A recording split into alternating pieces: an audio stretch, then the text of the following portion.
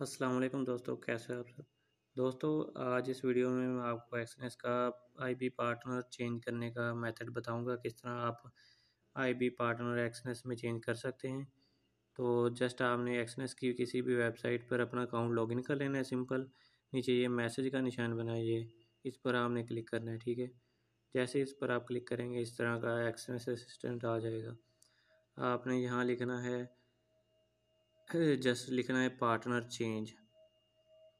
ठीक है, partner change. ये लिख के आपने सेंड कर देना है।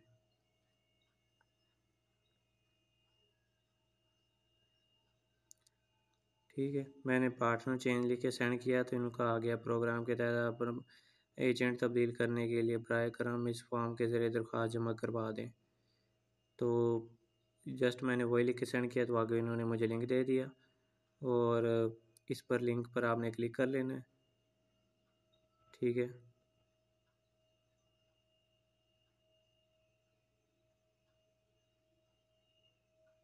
ये आ गया new partner change, new request, ठीक है।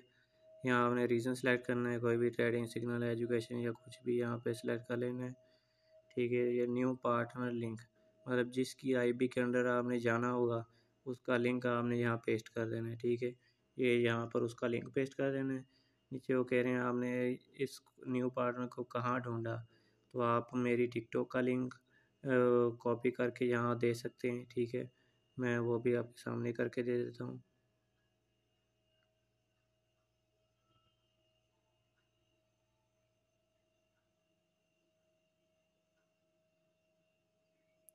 यहाँ से ये कॉपी लिंक किया, ठीक है?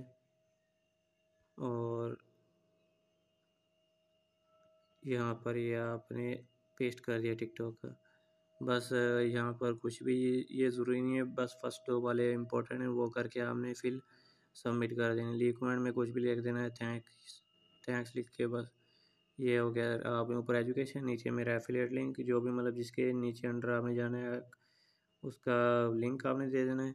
और टिकटॉक या जहाँ से वो बंदा आपको मिला है, उसका लिंक दे देना है और लीव कमेंट सबमिट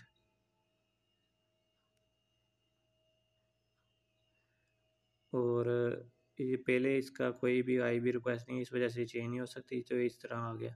अगर आप कोई चेंज होने वाली होगी तो यहाँ पर आ जाएगा कि हाँ जी आपने रिक्वेस्ट सबमिट हो गया है, कुछ दिन बाद आपका अकाउंट जो हो जाएगा, आपको ईमेल आ जाएगा।